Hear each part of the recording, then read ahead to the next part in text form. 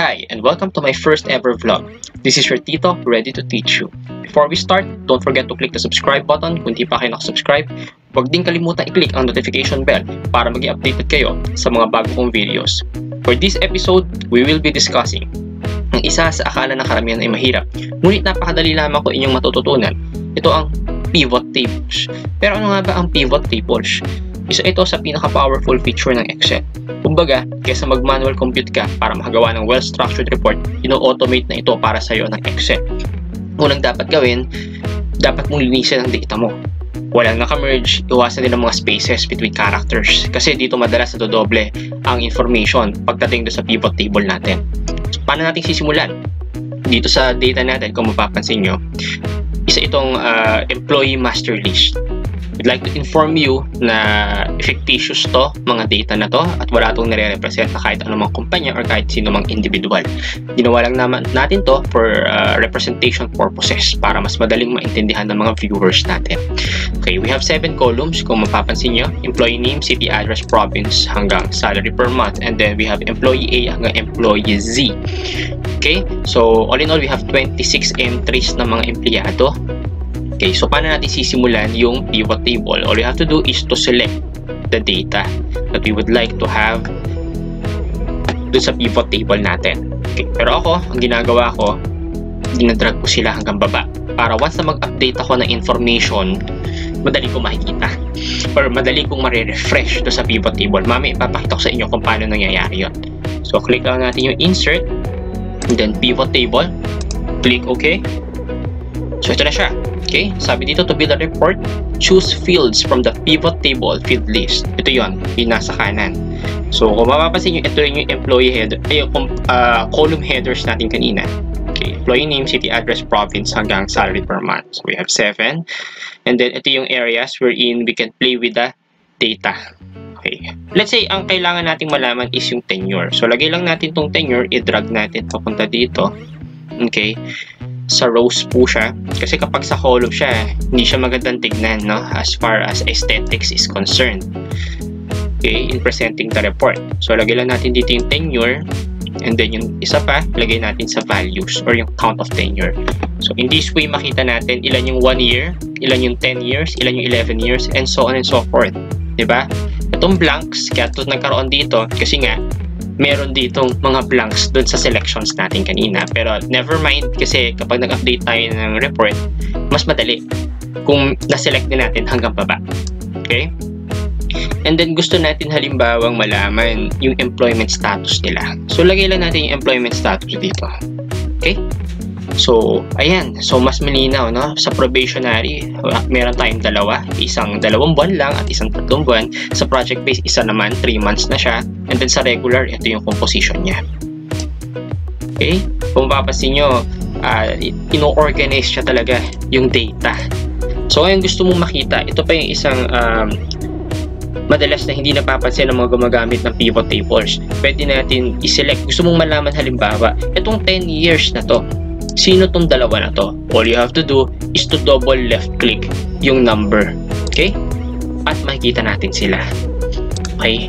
So, sila si employee U at employee T. So, kung mapapansin nyo, dalawang regular at 10 years sila. Kung babalik tayo dito sa pivot table, ito yon Regular, 10 years, dalawang tao. Regular, 10 years, dalawang tao. Employee U and employee T. Okay, so paano pa natin lalaroin yung data natin? Let's say gusto nating malaman sino naman yung mga, balik natin dito ha. Okay, sino naman ang mga or nasa ang probinsya itong mga empleyado natin. Okay, so province, okay, lagay din natin dito yung province sa values. Kung papasin nyo, meron tayong dalawang nagtatrabahador uh, or empleyado na nasa Cavite at 21 nasa Metro Manila, yung tatlo naman nasa Rizal. 26 pa rin. Diba? Gusto nating malaman ilan naman nasa ilan diyan ang mga nakatira sa mga or ano yung mga city addresses ng mga nasa provinces na to.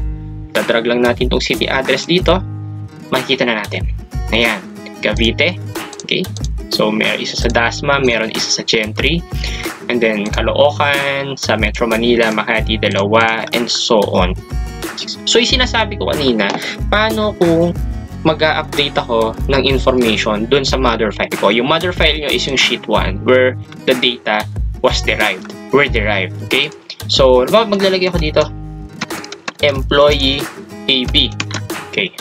So, employee AB to, lalagay ko lang bawa uh, Pateros para maiba. No? Pateros is still in Metro Manila although municipality pa rin sila.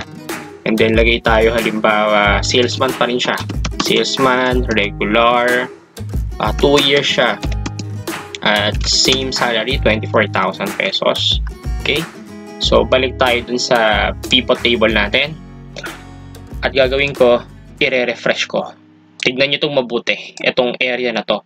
Pag ni-refresh ko, okay, nadagdag ang pateros. Diba? So, pag kinlik ko to, siya, si employee AB. So, you see, uh, yung pivot table, pinapadali niya yung buhay natin, especially kapag nagmamadali tayong gumawa ng reports. Ang importante, dapat from the get-go, malinis yung data mo kasi dodoble. So, paano, yung example ko, no, pag nadoble, yung or nagkaroon ng spaces between characters or after the character, yari na. Okay, example ulit. Uh, let's start with, uh, for example, dito sa Pasig, no? Itong Pasig na to, lalagyan ko ng space or dalawang space sa dulo. 1, 2. Okay. Ngayon, pag pumunta ako dito sa pivot table natin at nirefresh ko, kung mapapansin nyo, isa lang ang Pasig dito. Pag nag-refresh ako, dalawa na. Kasi isa may space eh. Hindi napansin nung nag-encode. So, doon nagkakaroon ng problema. Doon sa entry pa lang dun sa master file natin. So kaya very important yung uh, very fluid na data and information, walang naka-merge, walang spaces, at consistent ang formatting. Okay, kasi kapag mali-mali ang formatting, uh, doon tayo nagkakaroon ng problema na to doble. Bawa itong isa, uh, for Metro Manila, yung isa ginawa niya lang MM So, magkakaloko-loko na yung information natin pag ni-refresh natin dito.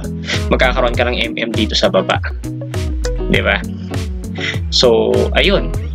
Uh, I guess that's pretty much the basics of uh, pivot table.